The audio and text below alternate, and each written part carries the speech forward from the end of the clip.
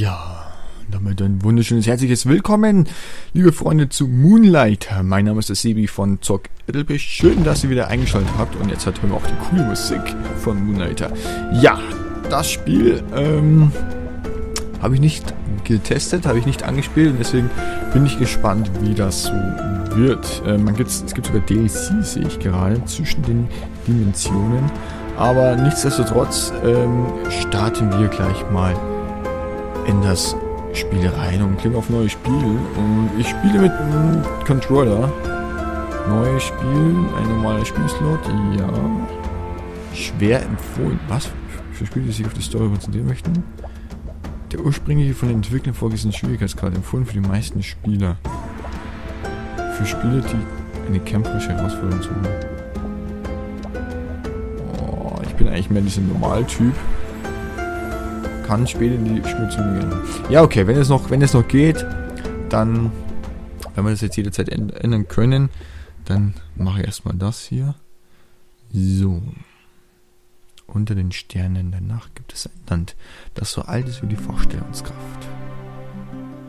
In einer Nacht tauchten in diesem Land Labyrinthe voller außergewöhnlicher Schätze und tödlicher Kreaturen auf. Sie nannten sie Dungeons, seltsame, sich ständig verändernde Ruinen, unbekannte Länder. Bald wurde in der Nähe der Dungeons ein Dorf, der ein wenig Neugierigen gegründet. Diese nannten sie Rugnox. Unter den Siedlern strahlten zwei Gruppen am hellsten, Helden und Kaufleute, Ruhm und Reichtum. Aber die Dungeons erwiesen sich als zu gefährlich. Das Leben wurde hart für die Stadt, vor allem den jungen Besitzer der ältesten Ladens, Wild of Moonlighter, der lange davon träumt, die geheimnisvolle fünfte Tür des Dungeons zu öffnen.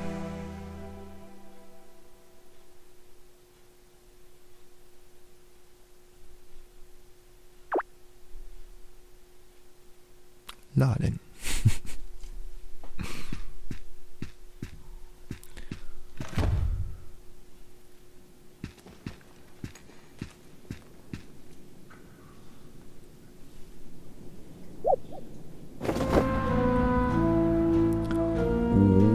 Okay, okay. Ich glaube, das ist das Tutorial. Ähm, was ist das? Okay, wir haben oben XA. Ich muss nur gucken, Controller haben ja. Den kann man nichts da machen, ne? Können wir da. Oh. Okay, ich kann das hier kaputt machen.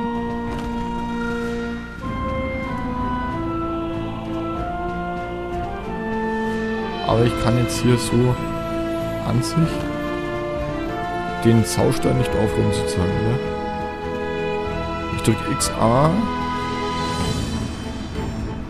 Ah, okay. Na gut, vielleicht ist das erste Mal so, ja, äh, wie gehen wir da?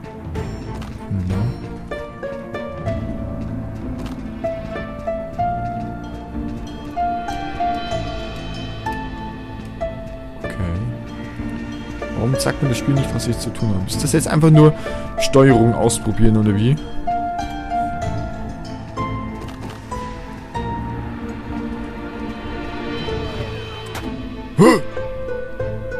Ich hab gedrückt.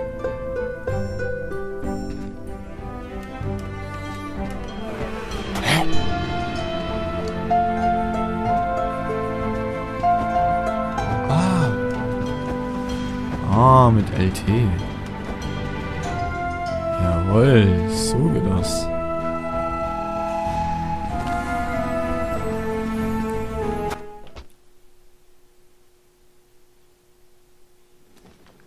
Ähm. okay. Ja, das wollte ich jetzt nicht. Das war jetzt blöd. Haben wir... Ist, warte mal schnell.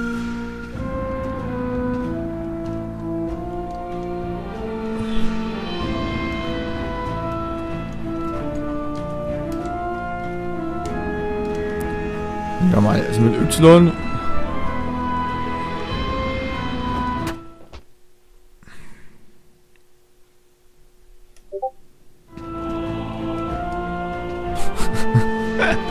okay, so rollen wir vor oder springen, wie auch immer. Ähm. Aha, aha, aha.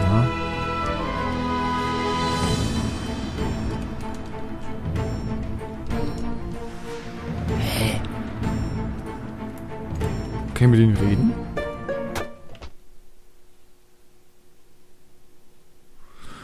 Warte, warte, warte, Ich check jetzt gerade gar nichts mehr, Alter. Ich, ich... Okay, nochmal von vorne. Ähm... Hey, okay, warte mal. LT ist... Mache ich... Ey, gibt's eine Combo?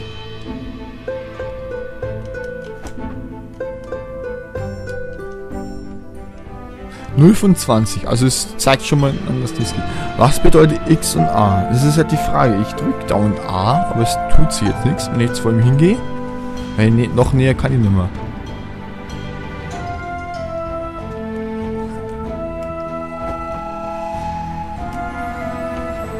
LT, RT. Hä? Warte mal, ich habe LT und RT zusammengedrückt. Wie kommt... Hä, das check ich jetzt gar nicht. Hab ich dann... Okay, wir spielen das Tutorial jetzt, das verstehe ich jetzt. Ah, ist klar. Es ist LTRT.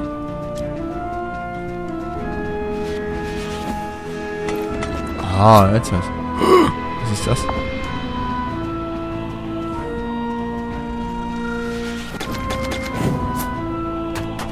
Uh. Besen? Kann wieder einen Besen? Anscheinend, ja. Okay.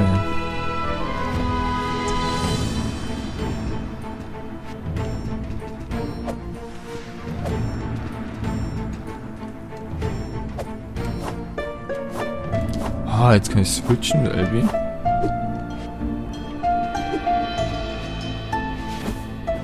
Aha, okay.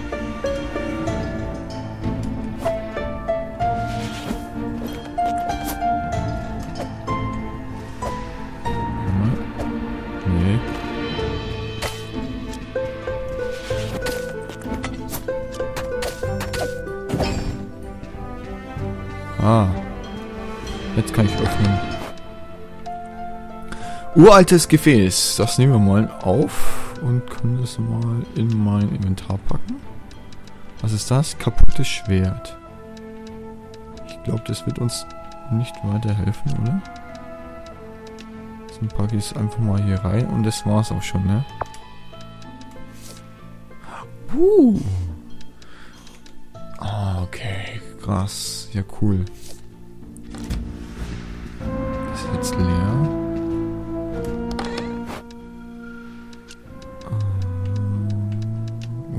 Gefäß und dann das Samen oder was? Gries ja. Was? Gießereireste. Gießereireste, alles klar.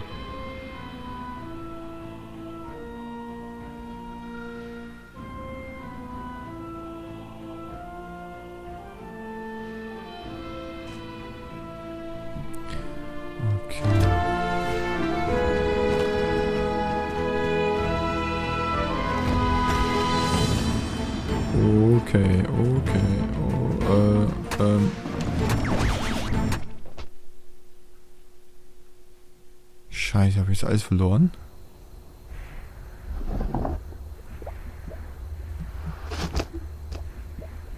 Hä? Ach, das war, ach, das war so gewollt, dass ich hier verliere.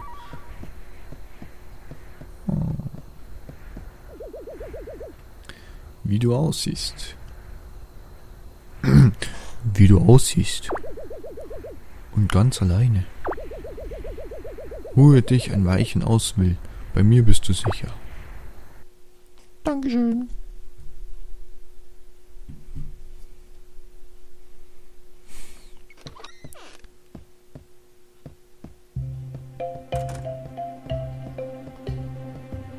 Home Shop. Ah, den Shop. Selbst als Kind hast du dich bereits für Dungeons interessiert.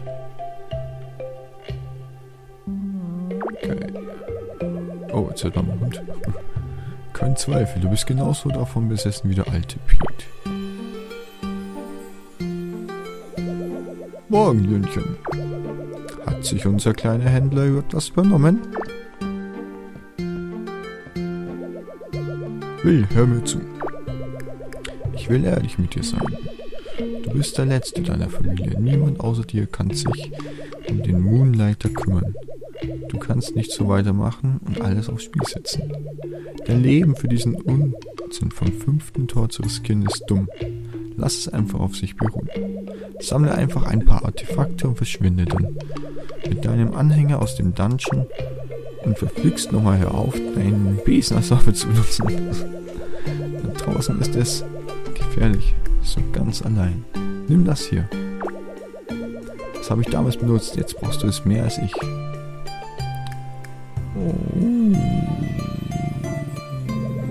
Na gut, dann hoch mit dir. Du lässt den Tag verstreichen, kümmere dich um dein Laden. Sehen wir doch mal, ob wir dir ein paar meiner Tricks in den, in den Schädel hämmern können. Die habe ich von deinem Großvater. Das ist schon so viele Jahre her. Okay. Jetzt haben wir Können wir dann noch eine Truhe öffnen oder können wir jetzt irgendwie unser Inventar verstauen? Ah, perfekt, können wir es verkaufen. Um deine Sachen erfolgreich zu verkaufen, bedarf es zwei Dinge. Kenne den Wert und die Nachfrage eines Gegenstandes. Komme schon, komm schon, öffne den Laden und lass die Kunden herein.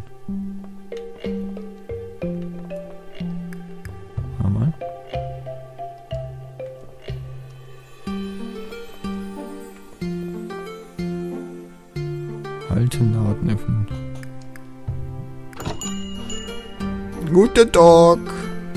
Herzlich willkommen in meinem Shop.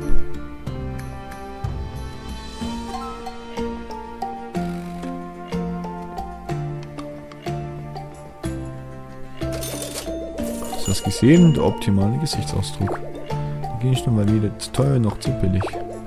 Achte auf die Gesichter deiner Kunden. So hat dein Großvater immer herausbekommen, ob die Preise stimmten. Okay. Und es ist zu teuer ne, für ihn. Ja. Muss ja wirklich sagen, dass der Gegenstand zu teuer war? Das war eine wertvolle Lektion, Kind. Denk dran, verkaufe beliebte Gegenstände nicht zu oft. Wenn du den Markt überschwemmst, musst du deine Preise senken. Kaufe teuer, wenn die Nachfrage oben ist und immer in Maßen. Sieh in deinem Buch, das enthält alle Informationen. Okay, also Überwachung und Artefakte, die du entdeckt hast. Also, lol. Äh, genau. RT. Kristall. Y. Die Sonne geht unter, es wird Zeit. Ich gehe besser, den Rest schaffst du sicher alleine. Es liegt an dir, diesen Laden zu alter Größe zurückzuführen. Glaub mir, du hast das im Blutwillen. Mach deinen Großvater stolz. Probiert doch in der Zwischenzeit ein neues Schwert aus. Nachts sind Dungeons gefährlich, aber es locken wertvolle Artefakte. Okay, wag dich nur nicht so weit vor und nutze den Anhänger. Welchen, welchen Anhänger?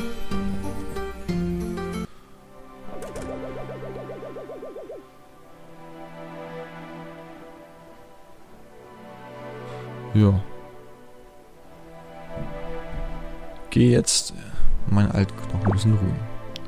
Ach, das ist sein Shop. Ich dachte, das ist jetzt hier meiner eigener. Ja. Moin. Winoko, was für eine Stadt. Okay. Lesen Dungeons. Ah, okay. Na gut, dann gehen wir mal Richtung Dungeons.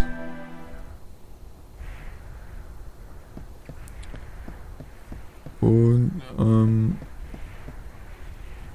Okay. Ja gut, das ist die Dungeon-Stadt, wo ich sag mal, wo wir hergekommen sind.